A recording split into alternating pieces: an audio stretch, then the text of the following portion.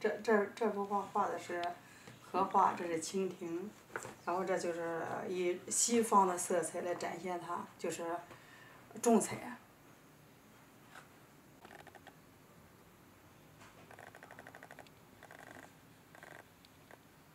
嗯，以小见大嘛，然后蜻蜓才有这种活灵活现的感觉，然后呢，整幅画的意境就出出来了嘛。荷叶、荷花，这是莲子嘛，这百年好合呀，寓意比较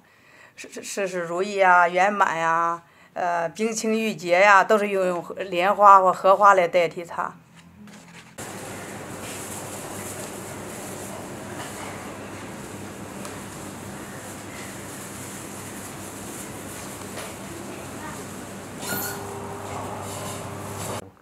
这幅画都是我所有的精品集的一个合集，然后呢来体现一下中国就喜欢出这些册页呀、画册啊，然后这些，然后这些东西，这是，这是我在我国家博物馆的一个副馆长是我同学，他给我写的序哈。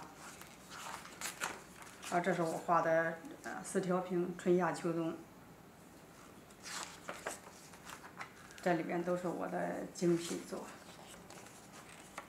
这里边这孔雀，富贵有余，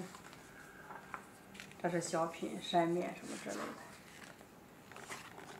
这里边也是一个四条屏，